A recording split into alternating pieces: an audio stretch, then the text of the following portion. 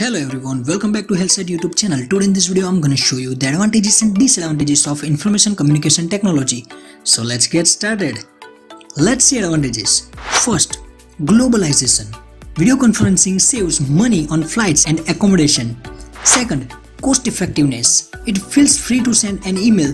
It's without doubt cheaper than phone calls. Third, greater availability. Information and communication technology has made it possible for businesses to be automated giving clients access to a website or voicemail 24 hours a day, 7 days a week. Fourth, education. Computers along with their programs and the internet have created educational opportunities which were not available to previous generations. Fifth one, complex structures. Through information and communication technology, teachers can easily explain complex structure, instruction and ensure students' comprehension. Now let's see disadvantages.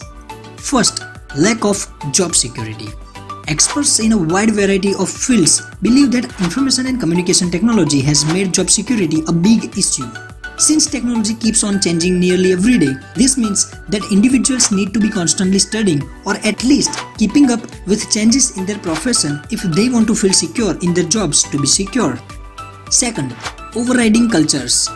While information communication technology may have made the world a global village, it has also contributed to one culture consuming another weaker one. For example, it is now argued that teenagers in the US influence how most young teenagers all over the world now act, dress, and behave. Third, social media. The network pages are open to everyone, including teenagers and young children, which can affect their mental and physical health by watching and playing violent games. They become addicted to the phones, iPod, gaming console, forgetting about outside activities and communication in the society. Fourth one, cyberbullying. It is so easy now bullying and threatening others in social network pages that this has become much easier for internet users all over the world. They don't realize what the consequences are to those reading hearing unpleasant comments.